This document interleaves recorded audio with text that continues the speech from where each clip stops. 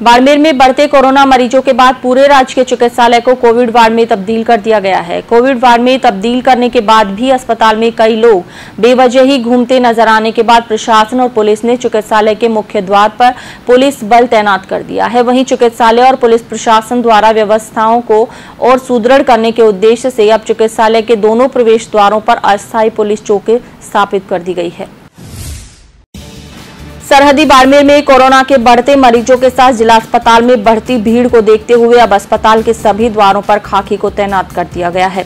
सरहदी बाड़मेर में कोरोना के बढ़ते मरीजों के साथ अस्पतालों में परिजनों की भीड़ भी बढ़ने लगी है। इसे लेकर शहर के जिला अस्पताल में पुलिस बल तैनात किया गया है। अस्पताल में भीड़ को नियंत्रित करने के संबंध में अतिरिक्त पुलिस महानिदेशक ने निर्देश दिए थे कि जिला आपदा प्रबंधन प्राधिकरण अध्यक्ष और कलेक्टर ने हाल ही में आदेश जारी किए थे। इसी को लेकर कोरोना मरीजों के परिजनों की बढ़ती भीड़ को नियंत्रित करने और सुरक्षा को ध्यान में रखते हुए तीन पारियों में पुलिस बल तैनात किया गया है। राजकीय अस्पताल के मुख्य दो मार्गों पर शुक्रवार को पुलिस का हथियारबद्ध जाप्ता तैनात करने के बाद वहीं अब शनिवार से यहाँ दो अस्थायी पुलिस चौकी बना दी गई हैं। साथ ही मुख्य चिकित्सा एवं स्वास्थ्य अधिकारी कार्यालय के पास के मार्ग को बैरिकेड्स लगाकर बंद कर दिया गया है। अस्पताल चौकी प्रभारी एएसआई प्रभुराम ने बताया कि जिला अस्पताल को कोविड अस्पताल घोषित कर दिया गया। बावजूद इसके, लोगों की भीड़ आम दिनों की ही तरह उमड़ती नज़र आ रही है। यही वजह है कि लोगों की भीड़ रोकने के लिए यहाँ पुलिस चौकी बना दी गई। साथ ही अस्पताल में आने वाले प्रत्येक व्यक्ति से सघन पूछताछ के बाद ही प्रवेश दिया जा रहा है। वहीं कई लोग मरीजों से मिलने पहुँच रहे हैं। उन्हें वापस भेजा जा रहा है।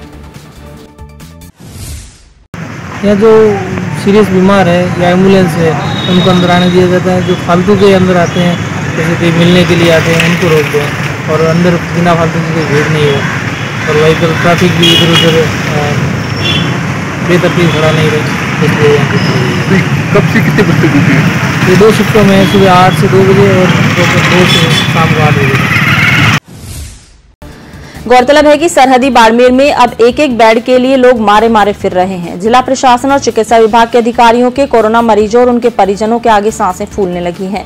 बाड़मेर के जिला अस्पताल में मरीजों की संख्या बढ़ती जा रही है। इससे विकट समस्या पैदा हो गई है। अपनों की उखड़ती सांसों को संभालने के लिए परिजन अपना आक्रोश निकालने लगे हैं। हालात प्रतिदिन विकट होते जा रहे हैं। सरकारी हेल्पलाइन को खुद की मदद की दरकार है। अस्पतालों में आक्रोशित लोगों को कंट्रोल के लिए पुलिस बल लगाया गया है।